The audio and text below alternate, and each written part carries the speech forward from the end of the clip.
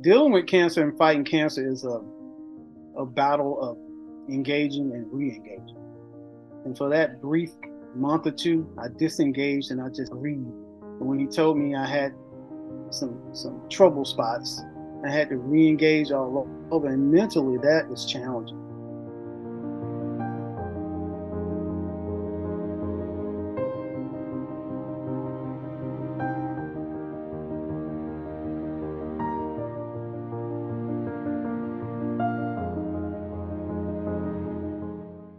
So, anyways, we're going through RCHOP, and uh, my body is responding pretty well. You know, I'm doing the Red Devil. All the nurses. Oh, that's where it came from? We call it the Red Devil. But you can Google it and it says Red Devil. Yeah. So, had that, doing fine, doing fine. And my body was responding so well. If you look on the, the right hand side, that's that's what it looked like when I first walked into the door. That's how bad it was a couple weeks later on the left side, that was my scan after that. And that was like a premature scan because he kind of wanted to see what was going on. You could see how much of that cancer was eradicated, just like that, right? And so I was feeling really good. So on my second round of RCHOP, the nurse said she come in the room and I see a bunch of needles, and I'm like, whoa, where this is where the bags. so they started giving me some of the injections in the stomach, and I was like, no. And um, yeah, so she said, Dr. Bo said, you responded so well. We're going to go with some direct shots. And they was putting half of my chemo in my stomach directly because I could handle it. That's how strong my body was. So at the end of RCHOP, Dr. Bose gave me a couple months off. So immediately when I start feeling well, I jumped right back on the bike. so I started back riding and I was feeling good about myself, you know? I was like, well, maybe we won. And so when I had that PET scan and he brought me back in, he said, Well, I knew, you know, he said, uh, we got a couple concerning areas. And I said, Well, maybe they're dead cells just not giving up. He was like, Nah, I don't think so. And uh, I was like, Well, maybe it's this. He was like, Nah, I don't think so, you know. And so at that point, I was like, Okay, I got to re engage, you know dealing with cancer and fighting cancer is a a battle of engaging and re-engaging. And for that brief month or two, I disengaged and I just grieved. But when he told me I had some some trouble spots, I had to re-engage all over. And mentally, that is challenging. I you have to have someone to talk to. You have to have a counselor or someone just to talk this out. I started journaling, so I would write it out, and I would talk to myself a lot and I would talk to my body and I would talk to my cells. And but anyways, he uh we had some some trouble spots. He said, Well, I'm gonna send you to the big house, UNC Chapel Hill, the university. That's where the teaching hospital is. And he said, I'm gonna send you basically to uh specialists there, Dr. Grover. She was amazing. And again, he gave me my options. You know, you can choose to do this. You can I said, you know what? I said the UNC family has been really good to me and I felt strong about it and she told me later on that I was, you know, but that we are because we're still still fighting, you know. Well, we had, you know, stem cell, which has been around for a while, and we hadn't tried targeted radiation, so we hadn't tried that. So, and then there were other types of uh, chemo mixtures, and I knew right then. I said, I, my body needs a break from chemo. That was not going to be an option. EPOCH and all those things. Nah, we're not going there. And so I, was very interested in CAR T from a, a, scientific standpoint of them taking your cells and modifying them with the, the protein tip to specifically attack cancer.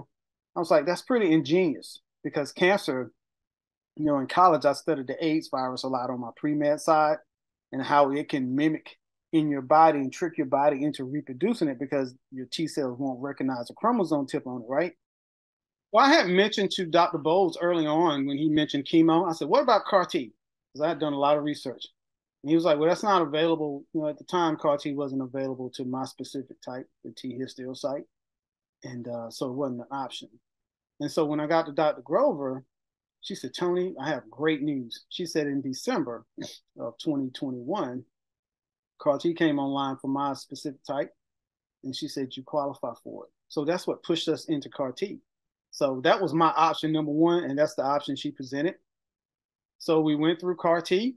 You have to do an honest assessment of how you're feeling coming out of this PET chemo, and it can be rough. And if you feel like your body can't handle that, seek second opinions. Because if your body telling you it can't handle any more of this, it can't. You may need a break if you can afford to have a break.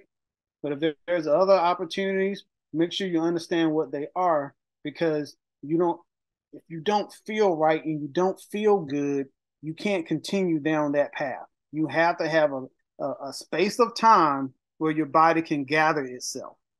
That that's what I encourage more so than anything. Understand your body and understand how much more of this you can take. Pay attention to what your levels are and pay attention to how your organs are responding. And that will tell you what your course of action should, should be. Because if your heart starts failing because you know you have to get the EKGs. You know about that, and you, know they test your liver, and they test your kidneys to make sure everything is at a place that it could handle another round, another series of chemo. That's the questions that you have to ask yourself. How am I feel, feeling physically? And if your doctor say you're at a point that we're not as concerned with it, you know, spreading rapidly, you know, if it's not doing that, pause a little bit just to get your mind and get your body back together so you can engage again. And that's what I would encourage more so than what treatment you're seeking. Don't be so quick to rush into one treatment into the next into the next because that degradation would take place in your body at some point. It's very important. Just the word practicing medicine is exactly what it is. It's practice. You know, unfortunately, they do the best they can through what they what they're dealing with in their education and, and what they've been exposed to, but it's still practicing medicine, right? That was my most um, difficult time, the CAR T, just simply because I, I was just so uncertain. I was almost, I was saying to myself, like, okay, I went through R-CHOP, and what if this CAR T that's over a million some dollars, right, doesn't work? What's better than that? You know, for a moment, my mind would go there and say, if this don't work, what's after that? What do you do after that? And um, and so we went through the CAR T. The chemo depletion was very hard for me. They take you to the edge of those three day. I had three days worth of chemo depletion. Day one, I sat there, and the thing about if I can explain to people that don't have our situation, when you're sitting there, you can be full of life and your eyes could be all bright and bubbly. But when you when that chemo start coursing through your veins, it's almost like a dimness come over your body. And you can feel an extraction of life just coming out of you. It's like getting close to death.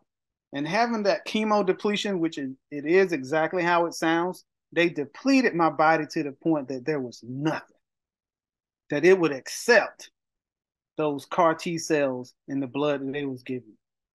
And I remember the first day that it hit me so hard. And I went through six rounds of R-CHOP and I didn't feel like that because they would always give me something to try to bring me back, right?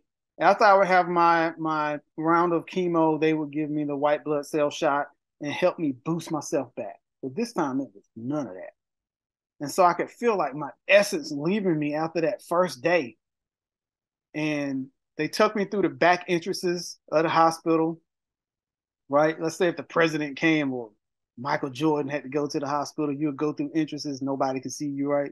I was going through those secret entrances to get up to the CAR T center. And um, because you had to be away from people because you had no immune system at that point. And the first day I felt so bad. It's like, man, and you had to be within 15 minutes of the hospital. So I live an hour and something away, so I had to kind of move up there. So I stayed in a SECU house, which is kind of like a Ronald McDonald house for grown-ups. That's kind of how I explain it. And uh, the second day, I remember going up, and there was a chapel. Was I always would pass the chapel on the back entrances going up, and I went into that chapel, and I, I broke down crying because I remember just crying, and I said, "Lord, I can't do this." It it drained me so bad, Steph. I felt like I couldn't do anymore. I said, I can't. I can't And I sat in that chapel about five or 10 minutes. And then that calm voice said, Yes, you can. You've been doing it all along. Go, get out of here. And I got myself up, dried my tears up, sat in that chair, and had my second day. And I did the same thing the third day. So after your three days, you have to go to somewhere, whether you stand in a hotel or wherever you stand, it has to be within 15 miles of the, the hospital. So I stayed at the SECU house and um, just started my rehab and recovery. And the people there were great. They cook food for you. You meet other cancer patients in your same situation. The first seven days, typically they tell you maybe 30 days you have to be there, depending on how you respond. And you have to go to the hospital every day for labs. My first seven days, I had no symptoms, feeling great I was sitting there talking to my CAR T cells because I talked to my body and I said, You guys are my special forces. And every night or every day, I would check in with them and say, Hey, what you what you guys doing? And they'll say, Execute, executing, boss. And I would talk to my cells literally like that, was like, execute. Go into the highway and the byways in my body and find cancer and kill it. You know, I was just talking to my body. And uh, after the seventh day, my nurses was like, my head nurse was like, You're doing so well, we're gonna let you go home. I had no fevers because CAR T, one of the main symptoms they want to check for if you have fevers. And if you have that, you can't go. So they let me go home after seven days. Stayed home. This was maybe on a Wednesday. That Friday, I got super sick. Fever 102, 103, 104. And I wound up going back to the hospital and stayed for 10 days and so my doctor was joking. She said, "You was my little superstar, and you wound up back in here," you know. But that was my CAR T experience. I didn't have any other side effects. Typically, the same side effects you would have with with R-CHOP or EPOCH or any of the other ones, right? No sweats, none of that. The fever was the only thing that showed up. And after they determined how to get that down, and I actually broke it, they let me go back home, and I've been home ever since. So I haven't hadn't changed haven't went back. I mean, just normal checkups, but um, that's that's kind of where we are now. You know, simultaneously, I don't think I told you, but I found me a holistic doctor too. So I was doing holistic medicine in conjunction with the chemo. You know, I was taking turkey tail mushroom and different lion's mane mushroom and soursop and you know researching holistic doctors in other countries that may not have the the scientific approach as as the the developed countries. But some of them rely on mother nature who provides us with everything that we need too. So i start looking at other plants and other herbs and things that can help me detox. Detox is important. As quickly as you can detox chemo and chemicals out your body the more readily your body will be if you have to do it again. So i was looking at different options to detox myself outside of traditional medicine. And so that was one opinion that I got. You know, what what plant can I eat? What food helps with this? All these things because you don't want to just keep adding chemicals to your body. You know, they give us chemo, then they give us these other pills to take to help with this and that. But sometimes Mother Nature gives you that, and your body is readily absorbing that versus a tablet. I told them I would tell them what I'm taking because I was taking ashwagandha and different things like that, and some of that may affect chemo because chemo is strong and it is designed to to do what it does. And sometimes you can alter that, uh, alter how it works by taking some of these things. So, but you know, if I can encourage the people, your physician and your your team matters, and you have to feel good about them. If you don't feel good about them, find someone that you do. That's that's as plain as I can say it because they affect everything about your situation. If you don't feel loved or feel like they care, then what the treatment that they're giving you, you're not gonna have confidence in that. And so make sure you feel good about them. And then we had another PET scan and this is where we are today. So we had the PET scan. I finished uh, CAR T in December of 22. And um, so we had another uh, PET scan January. And um, I believe it was. And uh, we found some cells that wasn't kind of unsure about what they were doing. It took up some of the isotope and it lit up But I told Dr. Grover the same thing. I said, maybe they're dead. Maybe they're dead. So maybe they're dead. She was like, no, nah. Nah. She was the same way, like, mm, don't think so. You know, just kind of dismissing what I was saying. Like, nah, Tony, not this time. Not. Mm-mm. And so that I was very discouraged because I was like, man, you know, I put a lot of faith in, in the CAR T process. But all hope wasn't lost because we were unsure. So um, the spot that I still had resonating was in the original area. It was very difficult to get to. So she wanted to do a biopsy. So they went through my hip to get to it. And so she told me, you know, they took 16 to 18 samples and they were decent samples that we could tell what's what. And if you believe in miracles, I would say this is a miracle moment. So when I met with Dr. Grover on the results, she said, Tony, I don't know. She was like, it looked like someone had pinched, if you can imagine pinching your cell and smashing it and just excreting everything in it, like you're squeezing something really, really tight. That's how that cell looked. And she was like, and so the report said no lymphoma found. And I was like, that's a miracle, right? That's a miracle. But doctors don't deal in those terms, so they're never going to give you a certain, they're not going to say certain things. They're not going to give you certainty on anything because they don't, you know, just disclosure, right? And protect themselves. But we both were smiling. I was smiling like it said no lymphoma found. It was inconclusive and and I and I had another moment of victory, right? Because typically when they give you that report, it's like a whole page. This, this, this, this, this, this. So when the radiologist gave the report, it was only like five lines. That's all he said. It looked like this, and no lymphoma found, or whatever it was. And so that was a win for me. Celebrate the wins. I asked my body to um to respond every time I get knocked down, and it has. And I think that's just my faith Right? That's the promise that I believe that God told me that I hold on to. You know, a lot of times it don't have to make sense to a lot of people. It just has to make sense to you because that's what's keeping you going. So if you're putting your faith in that, that's what's keeping you going. I don't care what nobody else thinks. You know, eliminate the background noise. My my biggest impact was when I stayed at the SECU House and I saw so many people that were more worse than me and that encouraged me. And they were in there cooking breakfast for us and making lunch and dinner for us. You know, people that could barely move because they were giving back. And even in spite of their situation, and no, no matter how they felt, they were willing to give back. And I said, my life will not be the same. I'm I'm gonna give back. You know, I can't wait till I get some clearance runway you have to be selfish to protect yourself while you're going through this, but you also have to be accepting that maybe I can help somebody. Maybe I can do something. You know, maybe I can be a difference in somebody else's life while they're going through this.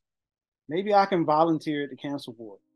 When you can look beyond your situation and you're looking into somebody else's life and trying to help them, it will help your situation right? It's it's that faith, right? Believing in something strong enough that you know the outcome on this end will be for you. Believing in somebody else strong enough saying your outcome can be this, right? That's angel work. That is powerful, man. That's angel work. It may seem difficult, it may seem bleak at times, but stay steadfast. Don't let outside sources influence you Stay steadfast. Even in your darkest moments,